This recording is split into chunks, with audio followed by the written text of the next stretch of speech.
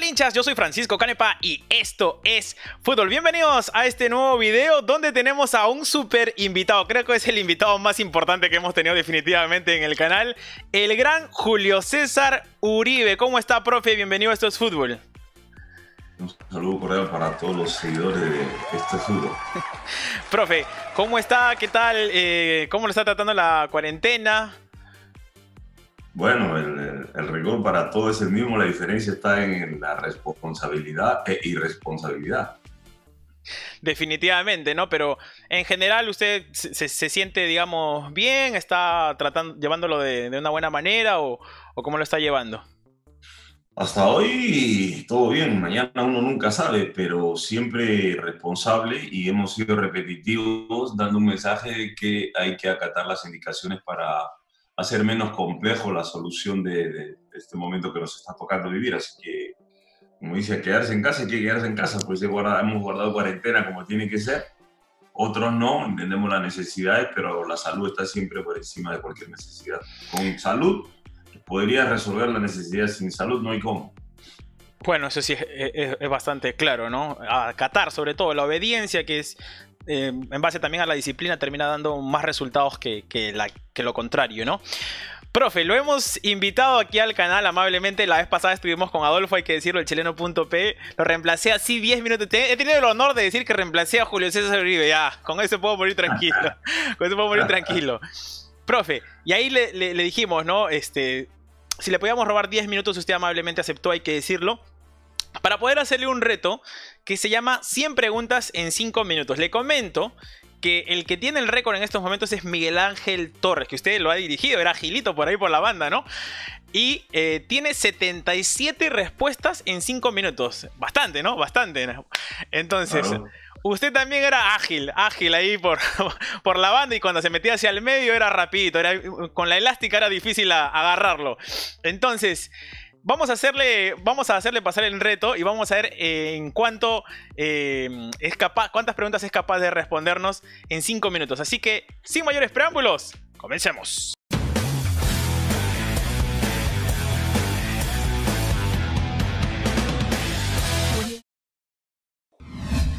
A ver, estamos con el gran Julio César Uribe y vamos a pasar las 100 preguntas en 5 minutos.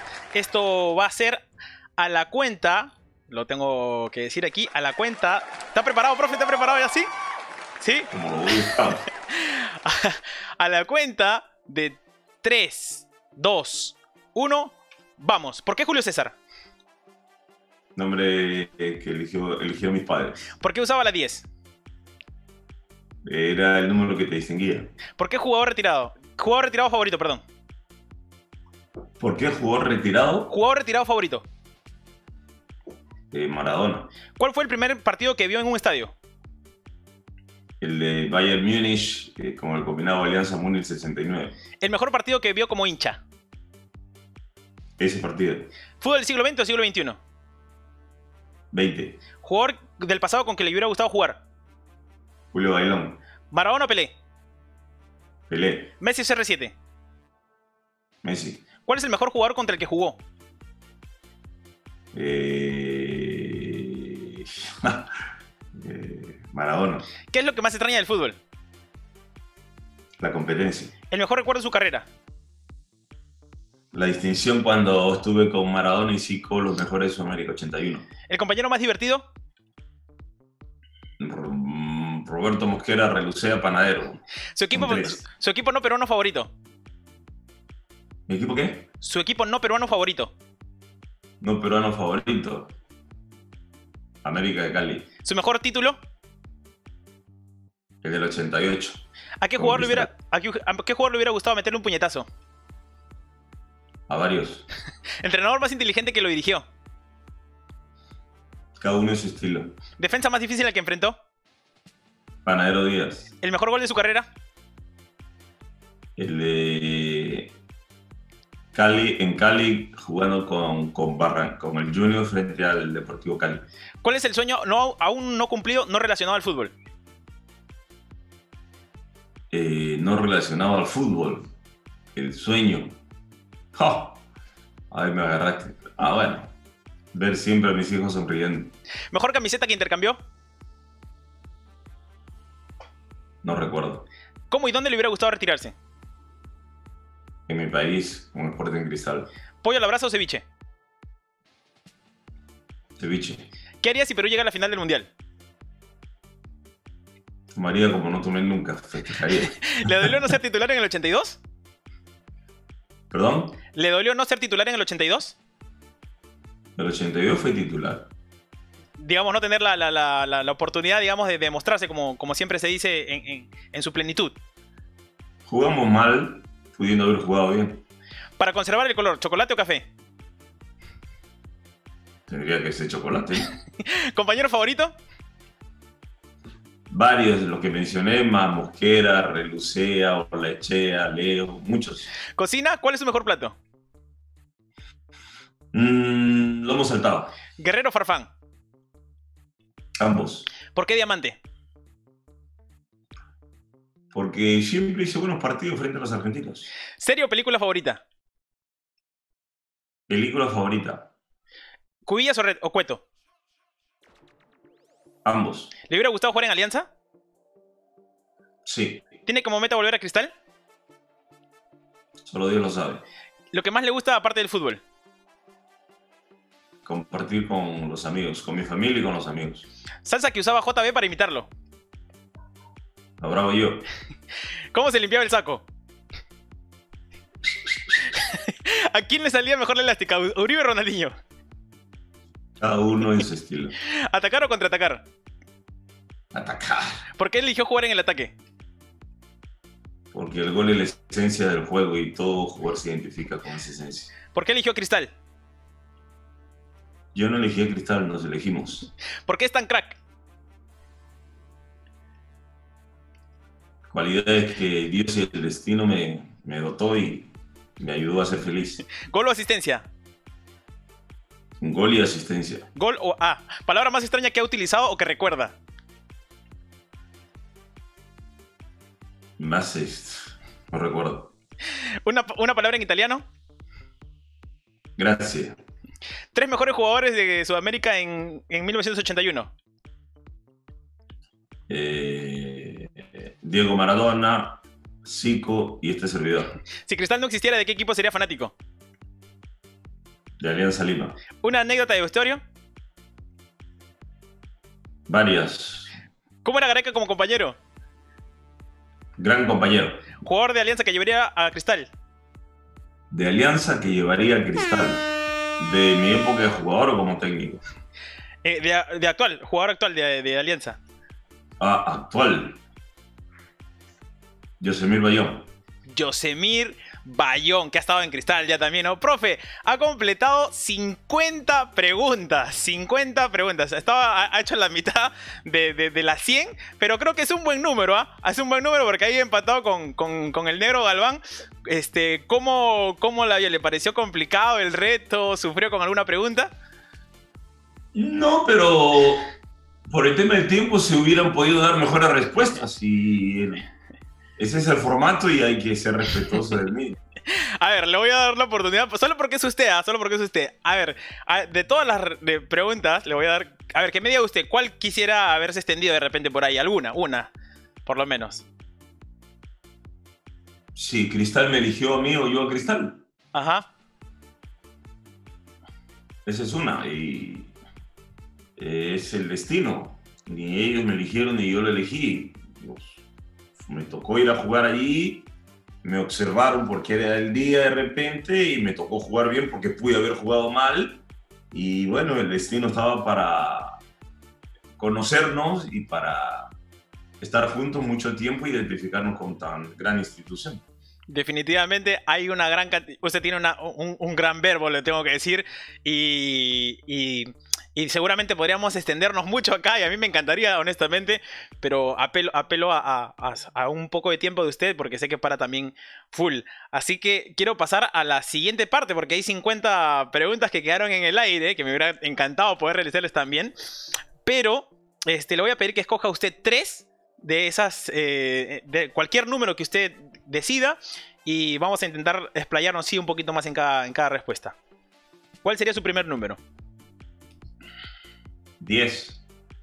No, del 50, o sea, del 51, Ah, de las que no 50 al respondió, 100. hacia el 100. 55. 55. 55. La peor patada que le metieron.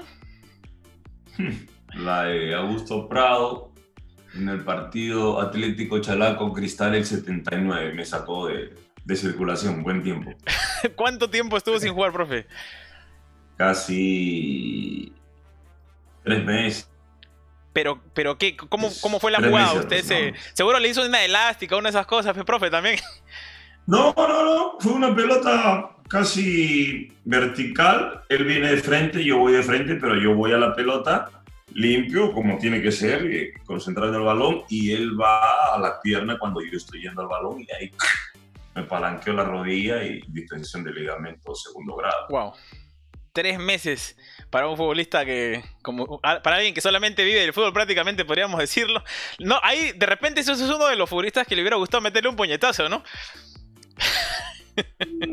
Nunca quise hacer justicia por mis propias manos, pero en el tiempo aprendí que el fútbol te da la, pos- posibilidad de volverlo a enfrentar y ya la otra ya no te va a hacer daño. Entonces, por ahí hay más posibilidad de que tú le hagas daño a él, no en función de revancha ni mucho menos, pero como un sistema de, de una mayor protección. Y yo aprendí a protegerme y bueno, aquellos que quisieron hacerte daño siempre llevaron la suya también. Porque, porque yo lo he escuchado, profe, que varias veces usted ha dicho que, que si no hubiera sido futbolista hubiera sido boxeador, ¿no? Eso sí, claro, claro, pero como deporte, ¿no? El box. El box es tan lindo como el fútbol, tiene, tiene su, su, su verdadero sentir también, pero yo me divertí más con el fútbol, por eso elegí el fútbol ante la posibilidad de ser boxeador. Listo, profe, esa es la, patada más artera. El segundo número, ¿cuál sería? 64. 64. ¿Tiene algún color favorito? Celeste. El celeste. ¿Hasta para los ternos o cuando va a elegir uno de sus ternos? Este, No, uno de los ternos azul, ¿no? Azul. Uno de mis ternos son mis dos colores favoritos, celeste y azul, pero más que el terno celeste, prefiero el terno azul, está. Evidentemente por una relación con Sporting Cristal, ¿no? Eso no está más. de más decirlo. Cristal es celeste y Alianza es azul. así que no- la dejó picando, la dejó picando, Claro. profe. La azul, no no. Cualquiera diría, ¿no? Negrito. Yo jugué, yo jugué mi primer partido con los calichines de Alianza Lima en ese preliminar de Alianza Muni combinado contra el Bayern Múnich, ¿no? El Ajá. 69, entonces. Y ahí lo vio a, a Franz Beckenbauer, ¿no? Franz Beckenbauer, Seth Meyer, Libuda, Müller, tenía un equipazo. Aprovechando que justo lo mencionó, ¿no? En, en- en brevemente, ¿qué nos puede contar de usted de lo que vio ese partido? Porque usted lo vio, ¿no? ¿Cuál es el recuerdo que tiene de aquel cotejo que terminó ganando el combinado Alianza Municipal? De una noche excepcional, una- un partido que no recuerdo tan espectacular, de Teófilo Cubías con Hugo Sotil. Los dos destrozaron a esa defensa con Franz, Beckenbauer. El combinado Alianza Muni ganó 4-1, ¿no? Y esa es una noche que una noche llena de fútbol, ¿no? Lo que jugó Teófilo y Hugo Sotil en aquel partido, yo niño, era es inolvidable. Usted, usted los vio en, vivo y en directo, dice, ¿no? ¡Wow! Qué, qué- qué- qué increíble anécdota! Y justamente la vez pasada le preguntaba a Adolfo, porque yo lo tengo que decir, ¿no? En mi canal hice un análisis un poquito de entre. Y es curioso, ¿ah? Porque yo siempre he escuchado a mi papá que él decía, ¿no? Hablaba de Héctor Chumpitaz, por ejemplo, mi padre, que es justamente del 9 de mayo del 59, un año después que usted. Entonces, este, él siempre es. Y Moreno también, ¿ah? Así que. Este, está la este, chispa que tienes tú, la chispa que tienes. de ahí sale, de ahí sale. Entonces, él siempre decía, no, para mí, él, le gustaba, por ejemplo, jugar en la defensa y decía, Chumpitaz es lo mejor que yo he visto en, en- en defensa, ¿no? Y justamente discutíamos entre, entre si Chumpitaz o si Elías Figueroa, y usted dijo una descripción de Chumpitaz, no sé si la puede repetir o ampliarse de repente un poquito acá, que ha sido compañero de él, sobre qué cosa era, eh, cuál era la diferencia quizás por ahí, ¿no? Entre los dos, si pudiera elegir.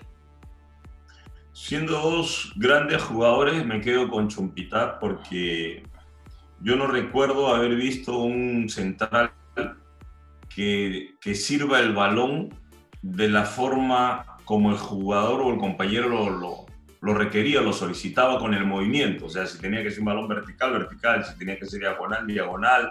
Y como tiene que ser, tú haces movimiento a la espalda del defensa y te la ponía a la espalda del defensa. Si en vertical, igual, recuerden el gol de Perico León, allá por el 69, es un pelotazo vertical.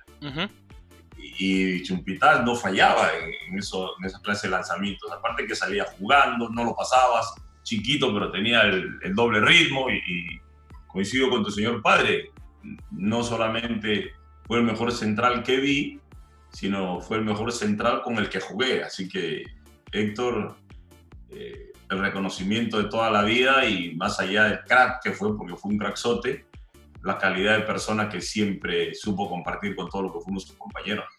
Claro, la discusión por ahí que muchos tienen es, bueno, Figueroa jugó en Brasil, la rompió, fue de los mejores jugadores en aquel momento, y por ahí Chumpitaz eh, no, no, ha sido nombrado, ¿no? Este, no ha tenido esa distinción de repente por ahí, ¿no?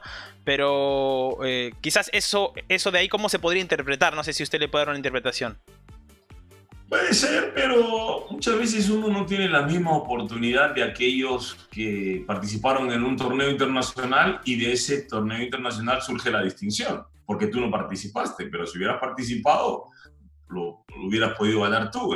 Pero lo que está claro es que nosotros no, no, somos menos que nadie, hemos sido una generación muy talentosa, de repente con una información muy deficiente a lo que ha debido ser siempre. Hoy se maneja conceptos y nosotros éramos jugadores instintivos. Una cosa es lo instintivo y otra cosa es lo conceptual. Lo conceptual yo creo que supera la producción y nosotros estamos viendo en estos tiempos que no es así. O sea, el concepto está ahí, no hay menos calidad.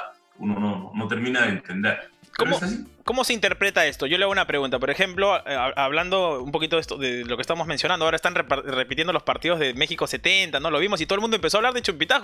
Nadie lo había visto, ¿no? O sea, casi videos ni, ni hay. Entonces, algunos dicen, por ejemplo, Chumpitaz llegó con la U en el 72, un equipo que, que, de la U que era muy bueno, pero que no era conocido internacionalmente, a la final de la Libertadores, mientras que en, en Brasil las defensas eran malísimos. ¿Cómo no destacar en Brasil cuando, cuando los defensas eran malísimos y por ahí Pelé estaba de bajada. No sé si usted comparte de repente su análisis, no, es un poco el análisis que yo hacía y para justificar por qué consideraba yo también que Chumpitas era mejor, ¿no? Pero igual son palabras y opiniones, ¿no? Sí, son palabras y opiniones, pero es, es bonito, es agradable, gratificante, retroalimentador abrazarse con su historia y aprender de la misma que ella no es para dividir al país, ella es para unirse y disfrutar de historia. Nosotros hemos tenido generaciones brillante, ¿no? 70, 78, 82, 89, la del 98, como no, que se quedó un paso. Todo lo que hemos jugado en la selección han sido grandes jugadores y eso yo creo que siempre hay que saludarlo. Siempre me, acuerdo, siempre me acuerdo cuando Areca dice que cuando él voltea y ve usted que hace una jugada ahí en el Monumental de Niños y Figol se la saca al ángulo y decía, mamito, nos quedamos sin mundial. claro, ese fue de nuestra generación ese fue el último gran partido a nivel de selección, 1985. La fecha no la recuerdo exactamente, pero Argentina nos empató y después fue campeón del mundo. Imagínense, nosotros estábamos en un, en un gran nivel todavía porque habían jugadores bases. Todavía estaba Barbadillo, estaba Puente, estaba Juan Carlos, estaba Barbadillo. teníamos todavía eh, Olechea, estaba Panadero Díaz. Que Panadero Díaz ha sido el complemento ideal como central eh, con Héctor Chumpitán, ¿no? Claro, claro. Tremenda, tremenda defensa. Profe, este, vamos a pasar al 11 porque justo ya me está mencionando este, los, nombres. Le, le, voy a pedir que me arme un 11. Obviamente usted tiene que estar incluido en ese 11 porque es imposible no, ah, ponerlo. De los mejores jugadores con los que jugó. Pero, pero, pero, antes de decirlo, me gustaría er, hacer la repregunta. Esa, esa, esa de Ronaldinho. ¿A quién le salía mejor la, elástica, profe? La verdad. O sea, normalmente esa jugada es para eludir un adversario en vertical, ¿no? Mostrarle la pelota y en el momento que él cree está ahí, llevarla por otro. Y prolongar la acción. Y bueno, yo siempre prolongué las acciones y él también las prolongó. Y, Ronaldinho fue. Cada uno en su momento, entonces. Cada uno, en su, cada uno en su ah, momento.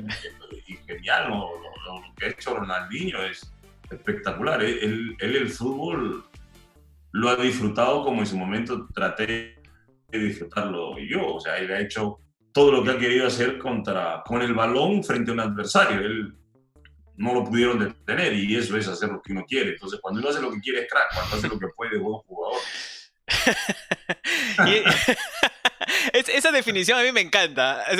se la he escuchado varias veces, pero creo que es muy, muy ilustrativa, que describe muy bien, ¿no? El, crack hace lo que le da la gana, ¿no? Hace, eh, se pasa en la cancha y, por más que vayan a la, mala, se para y, sigue jugando y, la rompe y, es como, como ha sido con usted siempre, ¿no? Eso es eh, innegable, se podría decir. Profe, pasamos entonces ahora al mejor 11 y me tiene que decir su sistema táctico con el que jugó. A ver, ¿cómo, cómo, es, ese, cómo es ese 11? El que jugué yo el 81. Para mí yo me quedo con ese 11. Ese 11 para mí fue una de las mejores selecciones de todos los tiempos. Desde el arquero hasta el puntero izquierdo y me quedo con ese 4-3-3 donde el equilibrio del 4-1 y 2-3 te permitía desglosar o interpretar el 4-3-3, porque el 4-3-3 era nominal. Cuando atacábamos, eran tres atacantes y dos generadores de fútbol, como jugó Barcelona en la mejor época de Guardiola con Iniesta y Xavi, y los tres atacantes, y, busqué como volante ancla, que, era José Velázquez en nuestra época, y nuestros cuatro defensas. Entonces, eh, es el mismo sistema, el 4-3-3, el equilibrio entre atacar y defender, pero con la prioridad de atacar primero y defender después. O sea, ¿Nos puede, refrescar? Nosotros en esa generación siempre nos preocupábamos de atacar primero y defender después. Y bueno, por eso hicimos, era muy agradable ver jugar a nuestra selección. ¿Le puede refrescar a los hinchas el 11 solamente así rapidito, por favor? Eh, Ramón Quiroga, Jaime Duarte, lateral derecho, Panadero Díaz con Héctor Chumpitaz de centrales, Roberto Rojas primero y, en su momento eh, Miguel Gutiérrez, en primera línea como único contención, José Velázquez, generadores de fútbol, por lado derecho César Cueto, por el lado izquierdo este servidor, y por el lado izquierdo, puntero izquierdo Juan Carlos Oblita, Guillermo La Rosa de centro delantero y Jerónimo Barbadillo como puntero derecho con alternativa de, de Germán Leguía que entraba por ese lugar, o el Flaco Malaje que entraba por ese lugar y, y, eran un poco los, dos cambios iniciales de, de otros que podían haber dado porque teníamos grandes jugadores también no estaban como titulares, por lo que elegí el técnico. Porque juegan 11 nada más. Nada más. El reglamento así lo decía. Profe, pero usted se pone en esa posición, pero usted juega por donde le da la gana. Sí, entre atacar y defender. O sea, yo agarraba la pelota y iba para adelante. Mi, mi, prioridad era mirar si, qué es lo que uno como técnico siempre trata de pedir a esos jugadores. Primera opción es vertical cuando no tienes línea de pase o hay una línea de presión, pues tienes que cambiar la orientación del juego, pero la primera es vertical y aquí los últimos 20 años agarra la pelota y ven a los costados, primero hay que mirar allá. Y bueno, es parte de, los tiempos, dicen, ¿no? Definitivamente, el fútbol ha cambiado, ¿no? Yo le preguntaba hace un rato fútbol del siglo XX, siglo XXI, usted me dijo siglo XX, porque al final es la época en la cual usted también ha jugado y ha disfrutado más, ¿no?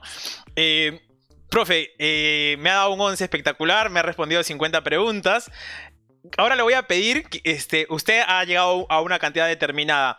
Le voy a pedir dos cosas. Eh, que me diga un número X de, likes que le tiene que dar la gente, los hinchas aquí, para traer a un próximo retante. Usted tiene que retar a alguien, a, alguien que usted considere, para, para, que venga a pasar, a intentar superar a Julio César Uribe en, la prueba de las 100 preguntas en 5 minutos. A ver, eh, un número de likes. A ver, le voy a decir más o menos los que han pedido. usted me puede decir que usted le dé la gana también. Lo más alto que nos han solicitado han sido 200 likes, por ejemplo.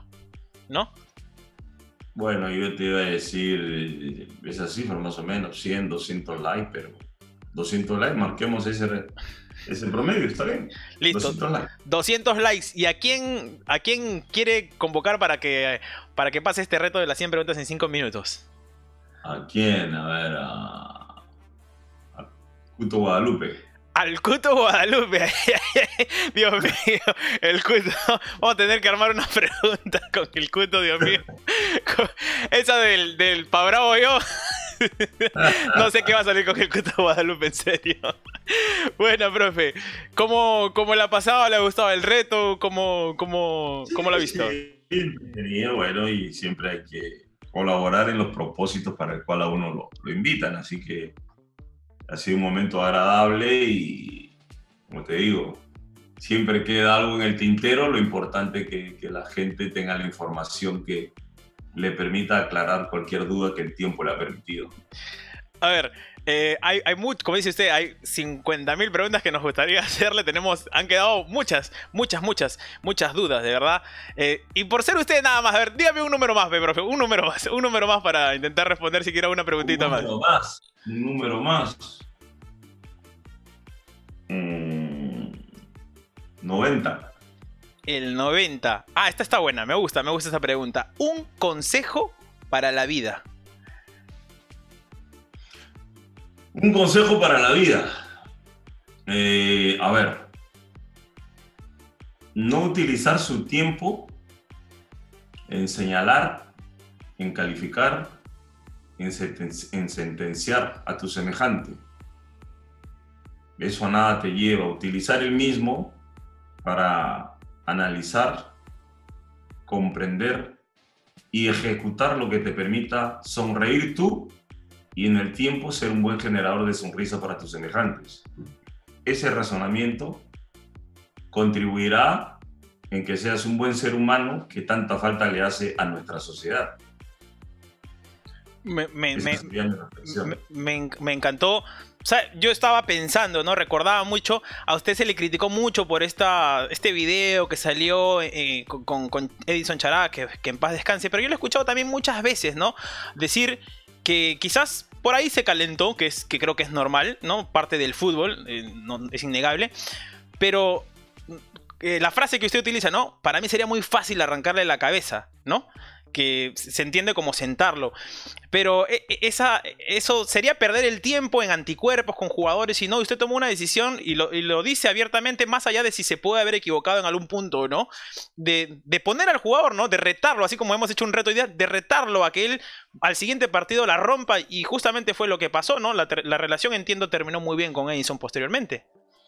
Así es, así. Los técnicos eh, a veces eh, no encontramos las respuestas que buscamos y tenemos que tomar decisiones y eso genera una reacción. Pero la capacidad de análisis del técnico, no es la misma la del jugador. Lo que sí debe estar claro en la interpretación de las partes es que tiene que haber equidad y respeto. Cuando uno como común denominador muestra respeto y lo que le dice al jugador lo sostiene, esa credibilidad, esa credibilidad genera confianza, la confianza genera buenos ritmos o buenos números, perdón. Y en ese sentido, yo a los jugadores nunca les he fallado. Que ellos hayan fallado ya es diferente, pero yo lo que siempre dije se ha hecho. Mm, y, es, y es claro, ¿no? Porque más allá, hay mucha gente que dice, no, por ejemplo, hablando como técnico, ¿no? De verdad que, de verdad que me estoy extendiendo, profe, estoy robándole cinco minutos más, por favor, pero eh, me, encanta me encanta esta charla. Yo digo, este, como entrenador, por ejemplo, muchos dicen, no, pero Julio César Uribe, ¿qué logró? Muchos critican eso, ¿no? Yo digo, eh, y lo he escuchado también, porque tengo que decirlo, lo, he escuchado, que usted dice, para mí, por ejemplo, muchos equipos que yo he agarrado en una situación muy complicada los he terminado salvando y esos son mis pequeños, mis propios títulos, es lo que usted ha dicho, ¿no? Lo he escuchado muchas veces decirlo. Y es verdad, ¿no? Porque quizás en, ese tema de, egoísmos, de, intereses, finalmente no se ha terminado dando una oportunidad. Pero equipos como, por ejemplo, uno así reciente, la San Martín, incluso mencionamos otros, ¿no? Comercio, Cienciano, son equipos que no solamente han logrado su objetivo, sino que también jugaban bien al fútbol. O sea, daba, era agradable a la vista ver jugar a esos equipos no le digo como un tema de pasar la mano porque está a, todas luces. Está a todas luces, ¿no? La gente puede poner play ese partido y decir, ¿jugaba bien o jugaba mal?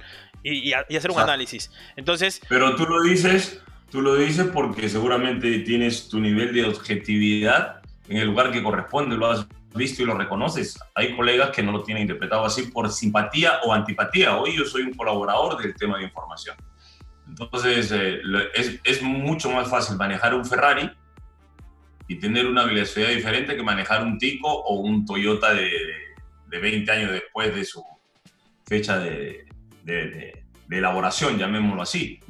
Entonces, lo mío, aquellos que así, aquí, así se expresan, de que no le ganaba a nadie, hay que respetar simplemente esa opinión y, y sustentarlo en hechos. Si soy casi que resiliente porque soy resiliente, que he superado adversidades, que todos los sueños que me propuse los he alcanzado, ¿cómo no le voy a ganar a la vida? Entonces, yo no, no nací en cuna de oro, ¿no? Porque para Bravo... Bravo yo. Pues. Entonces, eso, eso hay que respetarlo nada más, pero recuerda que yo he dicho y sostengo que no soy de magnificar las cosas. Reconozco y felicito que es lo que corresponde, pero de ahí en crear monstruos como otros crean, yo no, porque sé lo que es la distinción, porque sé, creo que sé bastante bien lo que es conservarse humilde, aunque mi apariencia no lo, no lo, no, no lo manifieste, pero equilibrado siempre. La fama no me ha nubilado y el momento de dificultad, el no ser conocido, no me ha debilitado. Es, es un equilibrio que como vida mucha gente no creo que la pueda alcanzar porque la fama lo ciega, el dinero, el poder y no entienden cuál es el propósito de la vida. Yo creo haber entendido siempre cuál era mi propósito de vida y cuál sigue siendo. Servir, respetar, ayudar, mostrar el camino como no me lo mostraron a mí. Entonces eso es ganarle a la vida. Para mí eso es ganarle a la vida. Profe, eh, sigue siendo una revancha, no, digo ahora, pero sigue siendo una revancha volver a la selección. No, no, no, no.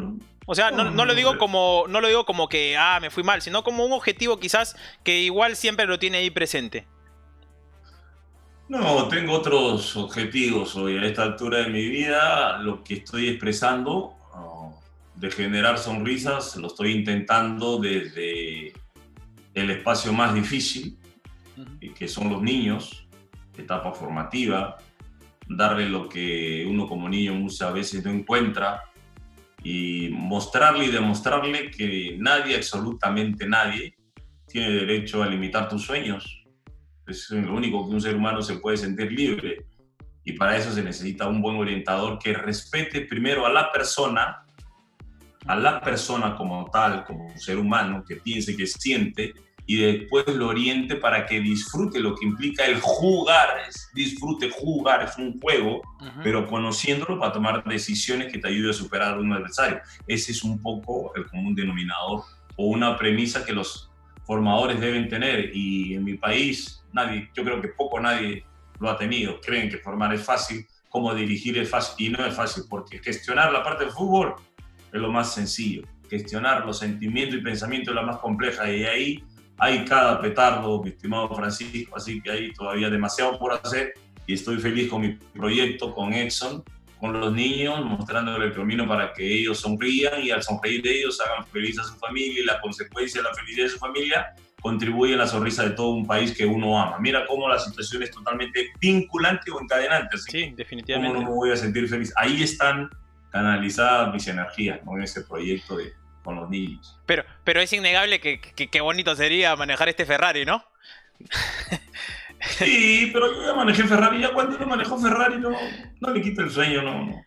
Porque es muy fácil, como te digo, envidiar. Yo nunca he envidiado a nadie, Francisco. Siempre me, mi vida he reconocido y he seguido mi camino tratando de superar al que está. Ese ha sido el combustible. No, no lo digo porque, o sea, hablar de envidias en estos momentos, uno, tiene, uno es capaz, usted ha sido compañero de, de, Ricardo, ¿no? Y es capaz de reconocer en el otro las cualidades como las tiene uno mismo. A veces, como usted mismo dice, ¿no? De repente uno piensan que es demasiado soberbio porque reconoce sus cualidades cuando están saltan a todas luces, ¿no? Entonces, eh, eso de ahí yo creo que es, que es clave tenerlo también en cuenta, ¿no? Se lo preguntaba, se lo preguntaba porque usted tuvo su oportunidad en la selección un par de veces eh, y quizás por ahí la, salida en el 2007 no, no, fue, no fue la mejor, ¿no? Creo que no se manejó de la manera más adecuada, este pero por ahí uno diría, ¿no? Veo a mi selección en el mundial. Bueno, ahora, la selección ya clasificó al mundial, ¿no? En ese momento todavía era un objetivo que teníamos, ¿no? Más marcado. Los tiempos van cambiando, pero es indudable que la capacidad ha sido demostrada en todo momento, más allá de alguna crítica que también se ha reconocido cuando uno se ha equivocado. Creo que es. Creo que la, crítica, la, crítica, la crítica es parte de tu responsabilidad como profesional y tienes que saberla asumir como debe ser. O sea, no es que cuando me criticas eres el enemigo o el peor enemigo y cuando me elogias eres mi amigo. Eso, eso nunca así, no debe ser así, al menos nunca lo he interpretado así. A mí lo que me queda claro es que todos mis equipos han sido propositivos. Mis equipos con el nivel de humildad por cómo ha estado conformado, ha hecho excelentes partidos a los grandes siempre, demostrándole que no eres tan grande como lo dice la historia. Hemos reducido esa interpretación en el, en el terreno de juego y para mí esos son mis trofeos y me han terminado ganando expulsándome a mis jugadores porque no tenían cómo, o sea, siendo grande. Entonces, lo que yo he dicho lo he podido plasmar y eso me ayuda a sentirme feliz, me ayuda a sentirme tranquilo y, y le demuestro que el chico nunca tiene por qué sentirse menos que el grande. Tiene que prepararse para competirle y en algún momento superar. Chico entre comillas. chico entre comillas, ¿no? Chico, chico entre, comillas. Profe. Entre comillas. Profe, para, para cerrar nada más. ¿Ternos eh, Gastón o de Gamarra? ¿Gastón? O de Gamarra. ¿Cómo Gastón? Listo, profe, nada más que preguntarle. Un placer tenerlo aquí en esto de fútbol. De verdad que eh, espero que, sea, que le haya pasado bien, que se haya divertido. Como usted mismo dice, quedan muchas cosas en el tintero. Sería horas de horas hablar porque es un placer de verdad tenerlo aquí en, el canal. Espero que los hinchas que siguen esta, este video lo, lo vayan a disfrutar o lo estén disfrutando después de verlo. Así que nada, lo último que quiero decirle es que los invite también a, que se suscriban y vean esta nota en, Esto es Fútbol. Sí, claro, a todos los seguidores los invito a que se suscriban. Un programa entretenido y con un, un muchacho periodista joven, con muy buena energía, con una, más allá de su forma, con un fondo que uno visualiza en lo que transmite uno, en la mirada y en lo que expresa eso se llama calidad de persona, así que felicitar a tus padres Gracias, profe. por el buen trabajo que han hecho en darte la información correcta. Y la información correcta se sustenta en principios y valores protegido con amor. Cuando eso se sincroniza, todos los otros espacios son retroalimentadores. Y aquí eso, el futbolista no, no, no le dan esa información. O sea, quieren que hacer creer que el futbolista siempre es burro, que el futbolista es pelotero, que no. Ese es un tema de información. Y si socialmente no se nos ha brindado la información correcta, imagínense si deportivamente lo han hecho. Así que hay que aprovechar a los que tienen la información correcta para que la transmitan y sean generadores de una mejor sociedad desde cada espacio en, el cual a uno le toque participar. Así que un abrazo y contento de haber compartido contigo tu, tu agradable programa, Francisco. Igualmente, profe, ya saben entonces a los hinchas que están enganchados a este video, necesitamos 200 likes para tener a Luis el Cuto Guadalupe pasando el reto. Vas a tener, vas a tener más de 200. Hemos dicho 200, pero vas a más, espero, que vaya súper bien. Eh, espero, espero que sí. 200 likes para tener a Luis el Cuto Guadalupe. Mamita, qué cosa va a salir en ese, en ese video. Ya saben que me siguen en Facebook como Francisco Canepa, en Instagram como FCO Canepa, al igual que en Twitter. Muchísimas gracias a todos los que vieron este video. Recuerden que eso es fútbol. Fue su servidor Francisco Canepa con el gran Julio César, el diamante negro Uribe. Y con nosotros será hasta un próximo momento. ¡Chao! Si quieres saber quién anotó un gol o cuál de los equipos se coronó campeón, resumen y crítica Francisco en la narración. Prepárate.